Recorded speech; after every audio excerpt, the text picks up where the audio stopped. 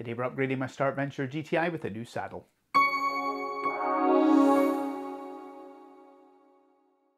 Hey folks, my name's Steve and welcome to Scotia Astro. I recently picked up a Skywatcher Star Adventurer GTI and I'll link my unboxing and first impression video up here and in the description below so you can go check that out after watching this video. I'd mentioned that I was planning to upgrade the saddle and the mount and I managed to source this excellent dual model from ADM. The original saddle's for a Vixen plate but this one will allow me to fit both Vixen and Losmandy rigs. I really prefer the stability of a Losmandy plate, but this way I still have some options and the ability to throw on a Vixen base rig if needed. So I just wanted to share a quick video with you all to take you through some of the reasons why I got this upgraded saddle and how to fit it to your Star Adventurer GTI if you have one. I've already got a few other products from ADM and I love them, so hopefully this new saddle will perform just as well. I already mentioned the stability of the Losmandy plates, but this ADM version also solves a cosmetic issue which is present in the original saddle that comes as standard with the Star Adventurer. The original saddle clamps your dovetails to Star Adventurer by tightening this thick bolted screw straight into the dovetail. This causes a good deal of marring on your plates as you swap them in and out. This isn't a deal breaker by any means, but I personally prefer to keep my dovetails tidy. There's nothing wrong at all with the standard bolt clamp, this is just a personal preference thing. Because the Star Adventurer has a much lower payload capacity than some larger mounts, there's not really any chance you'll be plonking a larger rig on it, so the standard clamp will hold these lighter payload rigs no problem.